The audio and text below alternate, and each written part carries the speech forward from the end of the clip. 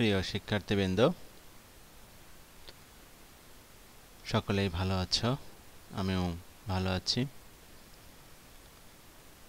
আজকে আমি টিডি সাবজেক্টের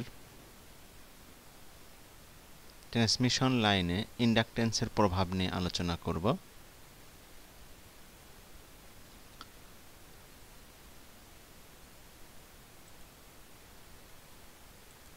আলোচনা বলতে এখানে আমি শুধু কীভাবে সমস্যার সমাধান করা যায় সেই বিষয়গুলো নিয়ে আলোকপাত করব।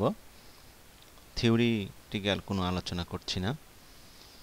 প্রথমেই আমরা অঙ্ক করতে গেলে কি কি সূত্র লাগবে সেইগুলো দেখে নেই। আমাদের সিস্টেম তো দুই ধরনের, একটা হচ্ছে সিঙ্গেল ফেজ, একটা হচ্ছে থ্রি ফেজ। যদি সিঙ্গেল ফেজ হয়, তাহলে আমাদের ইন্ডাকটেন্স কেমন হবে? প্রতি তারের ইন্ডাকটেন্স কেমন হবে? L equal to half plus two log e base D ভাগ আর ডি হচ্ছে তোমার এই ডিস্টেন্স দুইটা পরিবাহীর দূরত্ব আর আর হচ্ছে যে কোনো একটা পরিবাহীর এই যে ব্যাসার্ধ।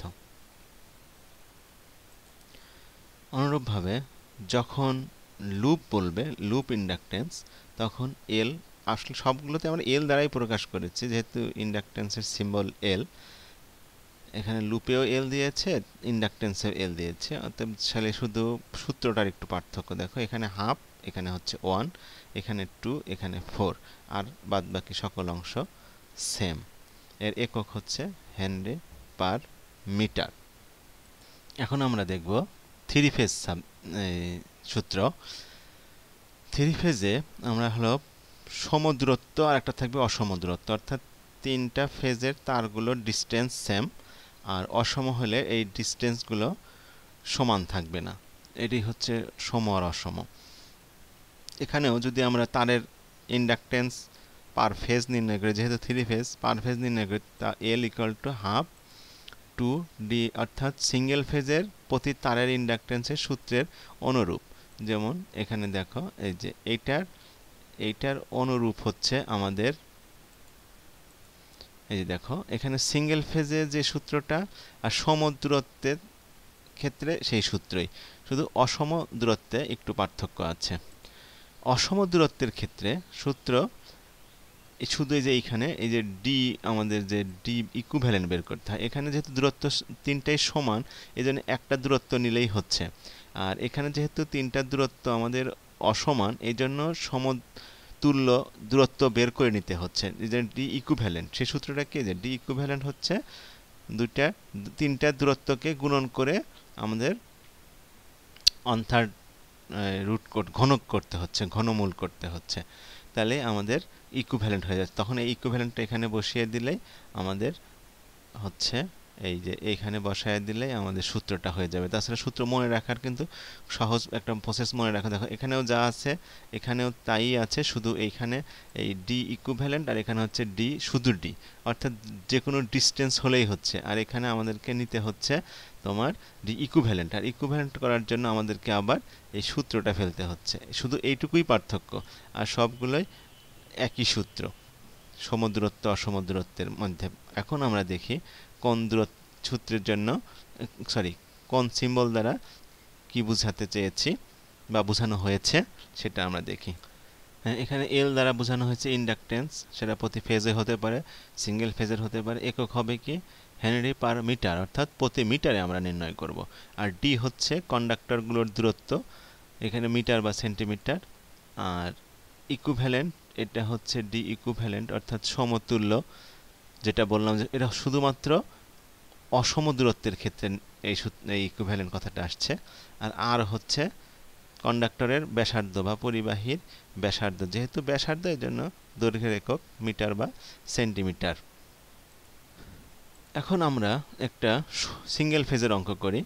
এখানে দেওয়া আছে কি বলছে, দুইটি সমান্তরাল পরিবাহী, অর্থাৎ সিঙ্গেল ফেজ যেহেতু পরিবাহী দুইটা, দূরত্ব হচ্ছে এত এবং ব্যাস দেওয়া আছে প্রতি বলছে প্রতি কিলোমিটারে লুপ ইন্ডাকটেন্স তাহলে লুপ ইন্ডাকটেন্সের সূত্র যেহেতু সিঙ্গেল ফেজের ক্ষেত্রে দুটো আসে, একটা হচ্ছে প্রতি তারের আর একটা হচ্ছে লুপ তাহলে এখানে চেয়েছে লুপ ইন্ডাকটেন্স নির্ণয় করো। তাহলে লুপ ইন্ডাকটেন্স আমাদেরকে সূত্র আমরা আগে যাওয়ার আগে কী কী বের করতে হবে সেটা আগে দেখে নেই। তাহলে আমাদের দেওয়া আছে ডিস্টেন্স বড় হাতের ডি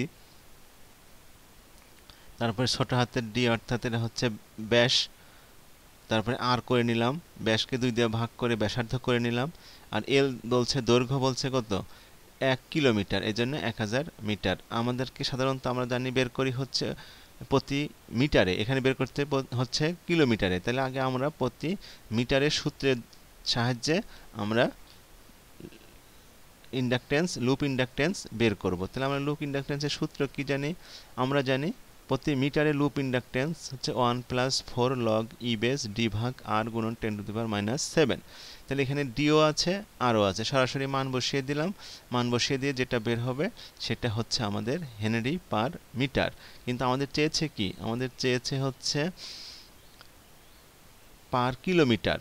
তাহলে আমাদের কিসের জন্য কি করতে হবে? এক হাজার দিয়ে গুণ করতে হবে। তাহলে আমরা প্রতি কিলোমিটারে যদি লুপ ইন্ডাকটেন্স বের করি, তাহলে যে ইন্ডাকটেন্সটা বের হয়েছে প্রতি মিটারে, সেটাকে যদি এক হাজার দ্বারা গুণন করি, তাহলে আমরা পাবো হেনরি পার কিলোমিটার। এটাই হচ্ছে একটা অ্যান্সার। এখন আমরা যাই থ্রি ফেজে থ্রি ফেজের মধ্যেও আবার করব সমদূরত্ব, অর্থাৎ তিনটা তারের দূরত্বই ইকুয়াল তাহলে এখানে কি কি দেওয়া আছে? পরিবাহীর দূরত্ব দেওয়া আছে, দুই মিটার এবং ত্রিভুজ আকৃতিতে আছে। তারপরে বলছে পরিবাহীর ব্যাস এত সেন্টিমিটার। প্রতি কিলোমিটারে নির্ণয় করতে বলছে। কিন্তু আমাদের সূত্র জানা আছে প্রতি মিটারে বের করতে বলছে কিলোমিটার। তাহলে আমরা সূত্র অনুযায়ী আগে মিটারে বের করে নেব। তাহলে কী কী দেওয়া আছে সেটা আগে লিখি। আমাদের দেওয়া আছে ডি, দুই মিটার সেন্টিমিটার করলাম। তারপরে দেওয়া দেওয়া আছে ব্যাস সেটাকে ব্যাসার্ধ করলাম, তারপরে দৈর্ঘ্য যেহেতু বলছে এক কিলোমিটার এই জন্য দৈর্ঘ্য লিখলাম এবং বের করতে বলছে এল পার কিলোমিটার তাহলে আমাদের সূত্র জানি, প্রতি মিটারে ইন্ডাকটেন্সের সূত্র, এটা সরাসরি তো আমাদের জানা আছে সূত্রটা, মান বসিয়ে দিয়ে যেটা বের হলো সেটা হচ্ছে হেনরি পার মিটার। এখন এইটাকে আমরা প্রতি কিলোমিটারে বের করব, যেহেতু আমাদের চেয়েছে প্রতি কিলোমিটারে এই জন্য আমরা তাহলে বের করব প্রতি কিলোমিটারে লুপ ইন্ডাকটেন্স ওই আগের মতোই শুধু এক হাজার দিয়ে গুণন দিলেই হয়ে যাবে। যেটা হবে এত হেনরি পার কিলোমিটার, এটাই আমাদের তাহলে উত্তর হয়ে যাবে। তাহলে আমরা থ্রি ফেজেও পেলাম। এখন আমরা যাব অসম দূরত্বের ক্ষেত্রে। অসম দূরত্বের, এটাও থ্রি ফেজ। এই যে ডিস্টেন্স দেখো, একটা দুই মিটার, একটা চার মিটার, একটা আড়াই মিটার। তাহলে এখানে বলছে যে তিনটা ত্রিভুজের শীর্ষবিন্দু, ত্রিভুজের তিনটা বাহুর মধ্যে দুই, আড়াই এবং সাড়ে চার, না, চার হবে। আমি এখানে সাড়ে চার লিখে ফেলছি।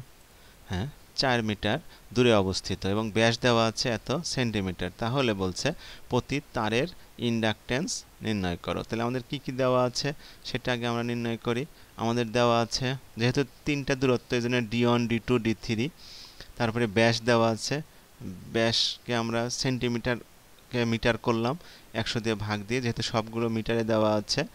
তারপরে ব্যাসকে ব্যাসার্ধ করলাম এবং এল সমান সমান হট। তাহলে আমাদের আগে সূত্রে যাওয়ার আগে যেহেতু তিনটাই অসমান, তখন আমাদেরকে কি বের করতে হয়? সূত্রে আমাদের জানা আছে ডি ইকুভ্যালেন্ট বের করতে হয়। এই জন্য আমরা প্রথমে ডি ইকুভ্যালেন্ট নির্ণয় করলাম।